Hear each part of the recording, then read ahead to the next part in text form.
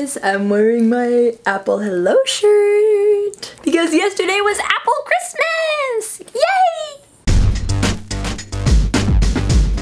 Hey, what is up guys? It is Annelies and I am here in the tech corner for a very exciting reason. And that is to talk to you guys about Apple Christmas. What is Apple Christmas? What do you mean, Annelies? It's it's September. Well, yesterday was September 12th, 2017. A Tuesday to be exact. And what does that mean to your Apple fanboy here? Is it was the day of the Apple event. The iPhone 8 Apple event. The Apple event of all Apple events. The 10 year iPhone anniversary Apple event. More than just the iPhone was announced. An iPhone 8 was announced and it's 8 Plus. The Apple Watch Series 3 was announced. An Apple TV 4K, which most people didn't care about. And one more thing. The iPhone 10! I'm going crazy. Folks, yesterday was a big day. It was a two hour long keynote. That keynote normally I feel like is normally an hour. And it was glorious. Now I understand a lot of you guys are not Apple fanboys like myself. But you want to be in on the know, on the on the new stuff and all the things, and you want to be in the loop. But you don't want to sit and watch a two hour keynote with a whole bunch of tech nerds talking about tech stuff. And you know oh here's an iphone and that's that's that's why this is cool. But oh here's a thousand i i oh I, I, like it, it gets a little bit too detailed for somebody who's just interested on like what's the new iphone. And it gets a lot like just just very detailed that not a lot of people care about to be completely honest. What i decided today for this video to do was a apple september 2017 keynote event in under 10 minutes. So i have my notebook here that i had stuff written down, and I decided to highlight a few key things. Now you may be also saying to yourself, hey Annelies, I see you don't have the entire page highlighted. You don't have that entire page highlighted, or even that one. There's a lot of stuff that you're not talking about. Are you going to tell us about it? Well, that's a very excellent question, um, anonymous viewer. So what I'm going to be doing is this video is just going to be kind of some key points that I think are going to be overall interesting for the greater good of humanity and the, the people who are relatively intrigued. Now, for those of you who want to get a little bit more, you know, want to dive a little bit deeper, you want to get a little bit more detailed, you maybe want to hear even my opinion on some of these things, and maybe if I'm going to purchase this item or whatever it may be, well, I'm going to make a individual video for for each of these product categories, the four things that we're talking about today, um, minus the Apple TV. So I'll make three extra videos that are gonna be pretty much me talking about all the things that are on my list that I don't have highlighted here, kind of going a little bit more in depth, giving you my thoughts and opinions, and uh, yeah. So I'll be leaving links to all those videos in the description down below. They're gonna come out a little bit later after this video, so bear with me on that, guys. But without further ado, let's go ahead and get started. We're gonna start with what I think they started talking about first, and that was Apple Watch Series 3. So Apple announced new new Apple Watch. It is called the Series 3 Apple Watch. Now with this one, there are two versions of it. There's going to be Apple Watch GPS and there's Apple Watch GPS plus cellular. Now something that is super cool about the Apple Watch having a cellular capability is this gives the Apple Watch so much more freedom, I could say, because the previous models, you know, the Series 1, Series 2, and the first generation, which is what I have, they work mainly over Wi-Fi and Bluetooth. So pretty much if you're out of range of the Wi-Fi or the Bluetooth, normally it's about about 30 meters, then your Apple Watch just tells the time and it tracks your activity if you have a Series 2, and that's about it. What's nice about this new cellular option is it, I've always said that the Apple Watch is an extension of your phone, but now that is even more true because of the fact that you can leave the house and go make a phone call while you're on the road, leave your phone at home. You can be at the gym, in the pool, sending a text message. Like there, there's so many possibilities that have expanded because of this. Now something I think is really cool about that cellular capability is that that the SIM card is like super tiny itty bitty because the SIM card is already like in the grand scheme of this, it would be big in comparison. But they've made the SIM card super, super tiny as well as the antenna is the entire display. That's so freaking cool and like innovative. That's so smart. Instead of making the watch larger, they just kind of used the pieces that they had and repurposed them. Now going on to that, the Apple Watch is the same physical size, like the frame is the same size on the new one, which is awesome because one thing I was not too keen on on the idea about is if they were going to change the size of the Apple Watch and then I would have to replace all 12 bands that I've bought for my existing 42 millimeter watch. Bands are expensive and I think Apple is at least, you know, Apple has a heart and they don't want to make all the users rebuy their Apple Watch bands for a new freaking Apple Watch. So luckily, watch, same physical size, the frame is the same size, the sapphire crystal on the back is a little bit thicker. Um, now something Apple did announce is that there's updated heart rate monitoring and heart rate sensing. So I think that might be a little bit with it, but it kind of tracks your um, resting and your act active heart rate and your recovery from a workout heart rate. And they, they had this big section of the keynote where they talked about how the heart rate can tell about certain diseases or, you know, heart palpitations or whatever it may be. And so that's why Apple decided to make a lot more detail or put a lot more detail into their heart rate sensor. Now, I'm not sure how much of that is coming along with the Watch OS 4 and how much of that is with the physical hardware. I know some of the tracking is the physical hardware, but I don't know if the reporting is going to be software or hardware. Uh, I guess we'll find out a little bit more with that. When it comes to the overview on the website, it's a little bit vague on what that is. They kind of say some of the features of the new device are features of just like Watch OS 4. So um, we'll actually see once it comes to Watch OS 4 coming out, and then I'll be able to test that on here and let you guys know. Some quick little, um, you know, cosmetic things is the colors that they come in are going to be space gray, silver, and this new gold color that's not exactly rose gold, but it's not exactly gold. It's kind of like a pretty soft gold in between of the yellow gold and the pinkish gold that the two were. And then you still have silver and space gray. They also still come in the Nike, as well as the Hermes bands, the Edition, but now Edition there's an extra color. It's like space black, so it's a like a ceramic black, which is really cool. And then you still have stainless steel in space black or silver. With the cellular version, you can get that in all of the models, but the non-cellular version, so just the GPS model, is only available in the aluminum models. And a few other technical things that are pretty neat is Siri actually is going to speak back to you on the Series 3 Apple Watch, which is really cool, as well as is the new dual-core processor is just going to make the watch run a lot faster. It's still going to keep up with that 18-hour battery life, and I'm looking forward to hopefully getting a new watch that's just a little bit speedier and lasts a little bit longer, because mine, which is going on about two years old now, is a uh, can crawl from time to time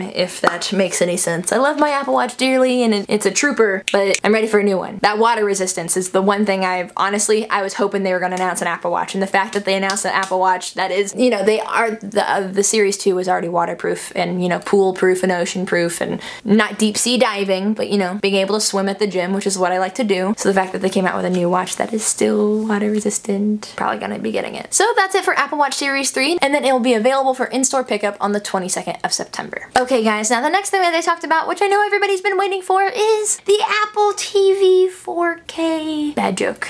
I don't think anybody was really waiting for this. But, you know, since it was announced, I will just kind of read off the teleprompter, if you will, some new things about the Apple TV 4K. Um, first off, it's 4K HDR. Yay, prettier picture. This section of the keynote was kind of frustrating because they were like displaying it and you can't see how a display of a display has updated.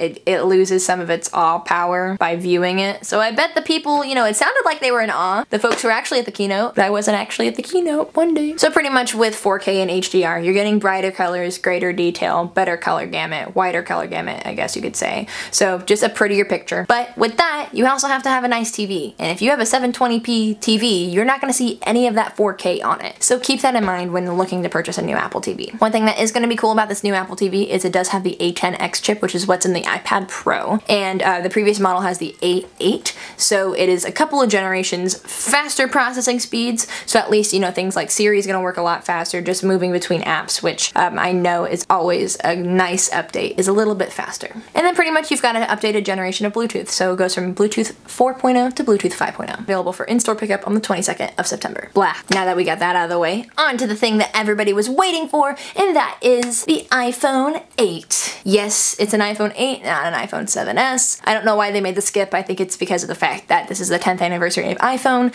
but I'm not mad about it because I think 7S sounds silly. Same thing with 6S. I was still irritated that they did that because it's too many S's, but whatever. So, the iPhone 8. Something that's new about this guy is it's got an all new designed body. There is glass on the back and there's glass on the front and there's an aluminum band that wraps around which is just like throwback to iPhone 4S days. But what's really neat about the glass on this phone is it is laser reinforced steel. So pretty much, uh, you know, just because you have glass on your phone doesn't mean it's going to be completely destructible now. Or pardon me, it is reinforced with laser welded steel. So, I mean, same thing. It's just going to be pretty strong. The aluminum that wraps around like a band on the outside is a 7000 series aerospace grade aluminum. So just really light, but really strong. It is still going to be water and dust resistant. So IP67 rating means that your water resistance on your phone is more for oopsies, not adventures. So don't make this your underwater camera. Don't go bringing it underwater to take pictures and whatnot. You're gonna want an underwater case for that. You're want a waterproof case. But when it comes to, oh, hey, I accidentally fell in the pool or a, you know, a cup of water spilled on my phone, you're gonna be safe in those instances. Something that I found actually off of the website is that the glass has a oleophobic, oleophobic coating, which pretty much means that it is going to be resistant to oils and fingerprints and smudging, um, or more resistant to those things. So I'm excited to get a hands-on experience with that to see if it actually works. Something else you get to with the iPhone 8 and 8 Plus is wireless charging because of that beautiful glass backing. You have the ability to use a charging pad, which Apple is going to be coming out with next year, as well as, um, you know, third-party companies have announced that they're going to come out with that, that you have the option of taking your phone and putting it on a charging pad and it charges. Like that's absolutely spectacular. Something that's nice about this new phone is it's got the A11 Bionic chip. Compared to the A10 Fusion chip, it's going to be 70% faster CPU performance, so pretty much it's just like a faster phone. And what's nice about that A11 chip is with the new camera that's on this phone, so it's the same megapixels as the 7 and 7 Plus, but the sensor is a lot larger and wider, so it's just to make your camera work a lot better, a lot smoother, as well as when it comes to its optical image stabilization, using your camera with that wide sensor and that faster sensor, being able to translate it into the A11 chip, bringing that stabilization in photos and videos. It's, it's just gonna make it pretty much the faster chip with the optical image stabilization, smoother pictures. Math. Something that also updated with the camera is through video. So the megapixels haven't changed on the photo side of things, but when it comes to the video, 4K has finally got 60 frames per second, folks. Ah! I'm so excited about that. And then slow-mo is 1080p at 240 frames per second, which is really cool because previously it was only 720p, so lower resolution, but butterier film. And then same thing with the 4K was only 30 frames per second, so now you're getting the high resolution with the buttery movement and stuff. So I'm very excited for that because that's what I use my iPhone for mainly is like my video recording device. So that is one huge pull for the iPhone 8 for me is just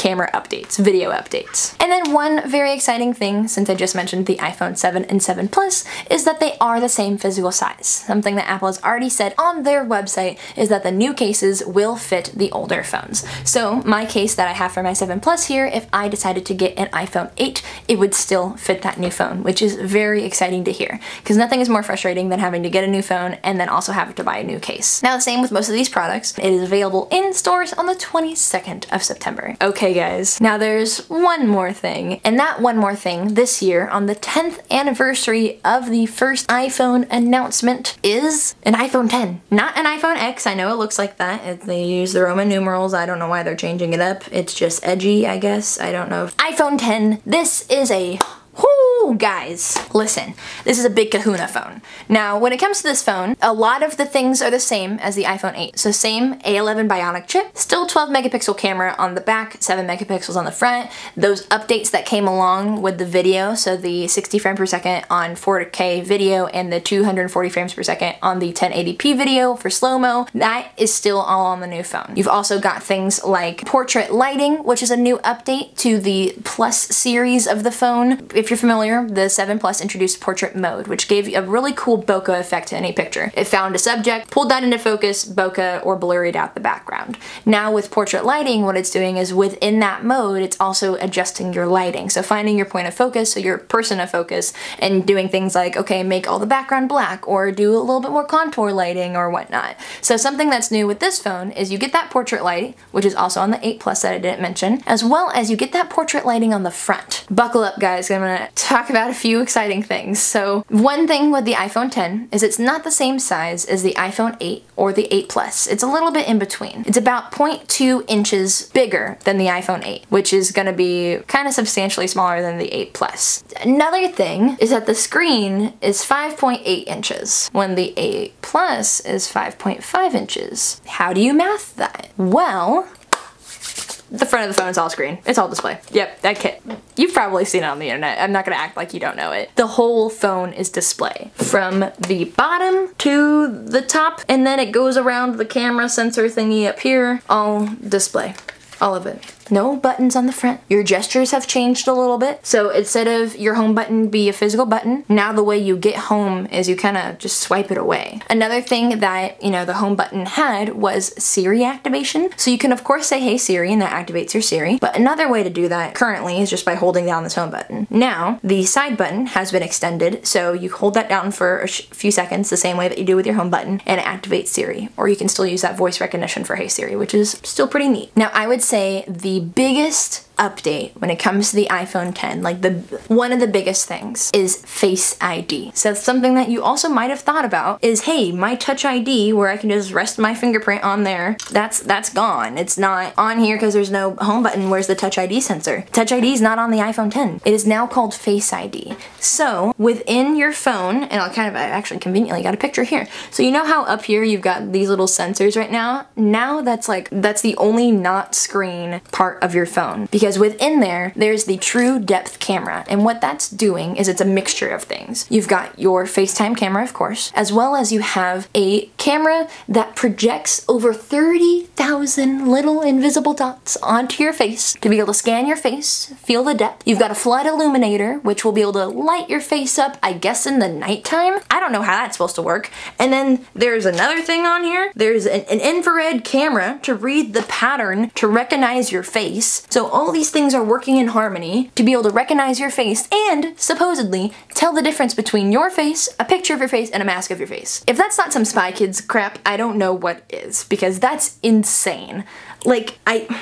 I've watched a lot of videos so far of people who were at the Apple event and saw somebody testing out the Face ID like live in person and they say it was super dope. And all I have to say is I am very excited to try it out. And I'm very excited to just see it in real life because that seems absolutely bonkers to me. The idea of Face ID. Like it's, and now something that they did say is that Face ID, like I said, it'll be, be able to tell between a picture as well as a mask as well as if you grow a beard, you're wearing glasses, you have a hat, you change your hair, you're wearing a scarf, it can tell the difference between all those things. The way that it works is you just look at your phone. You have to be actually looking at your phone. Your eyes have to be looking at your phone. That means your eyes have to be open. No people on Twitter that were like, oh, you can unlock your man's phone by just using his face now. You don't even have to touch his hand and get his fingerprint. One, don't break into your significant other's phone. How about that? But two, the eyes have to be open. So breaking into somebody's phone when they're sleeping sleeping does not work.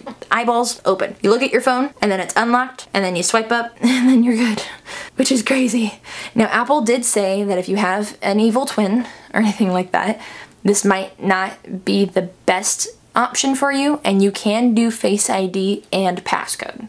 So you can do one or the other or both, up to you. But that is a new thing that replaces Touch ID on the iPhone 10 um, is it is exclusive to the iPhone 10.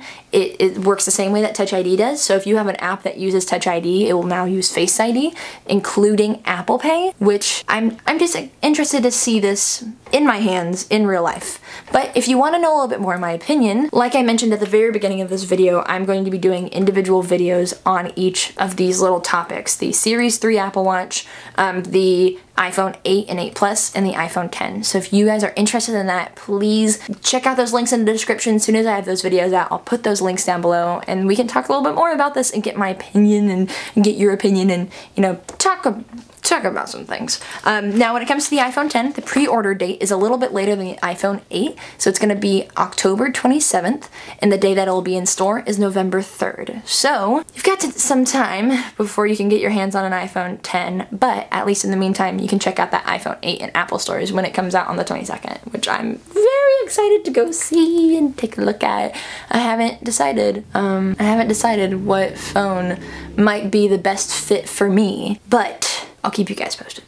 So guys, that is my, um, so guys, that is my, so guys, that is my super speedy recap on the Apple September 2017 event keynote. Um, now, like I said, if and if you see on this paper, there's a lot more things on here that are not highlighted that I, and there's even some of these highlighted things that I didn't mention, that if you want to know what I still have written down on here, and if you want to know a little bit more in depth about these products and these announcements, please check out one of my various videos that I will be putting out in the next week or so that is a little bit more in depth on the keynote and the products that were announced and the things that were announced. And then also I kind of want to talk to you guys about my opinion on some of these things. I wanted to save this video to be nice and short so that way if you wanted to be filled in on the loop of the Apple world but you didn't want to sit there and watch a two hour long keynote, which I don't blame you, it was, it was very long and if you're not, you know, it's not meant for the public. They talk about a lot of like, this is our store's mission and blah blah blah and you know, this is the economy and blah blah blah and the but all the I'm not even saying words. Um, but it's a lot of just stuff that for somebody who just wants to know, hey, what's the new iPhone like? There's a lot of crap in there that you don't need to hear if you just want to know about the iPhone, you know? Um, so I hope this video was helpful in some way. I hope you were informed or entertained or both. If you were all of the above, please don't forget to like this video and subscribe to my channel if you enjoyed this. If you want to see me make more videos like this, let me know in the comment section down below. If you thought this video was interesting or informative, share it with a friend. Maybe you have a friend on Twitter who is kind of like, hey, do you know what happened with that whole Apple thing? You can send them this video and then they'll know what happened with that whole Apple thing. Ah, spreading the wealth of knowledge. It's, it's a wonderful gift, people, I tell you. Um, but otherwise, that is it for me. Thank you so much for sitting here through this, uh, this kind of long video. I love talking about tech stuff, as you know. I love being here in the tech corner, which is where I make all my tech videos. So if you want to see future tech videos, um, check out my channel, subscribe, all that fun stuff. But thank you for letting me share my excitement about um, yesterday's event with you because I don't want to talk my friends' ears off too much about the Apple event. And I know at least if you're watching this video, you were somewhat interested. You didn't have me just come up to you and be like, hey, can I talk to you about Apple stuff? Okay guys, well that is it for me. Stay beautiful, have a marvelous day, and I'll see you guys next time. Bye even though this video is super dated, thank you guys so much for watching it. I know it's a, a, few weeks late. I went to Disneyland and that kind of threw a wrench in everything. But thank you for watching. I hope you enjoyed it and stay tuned for the next one.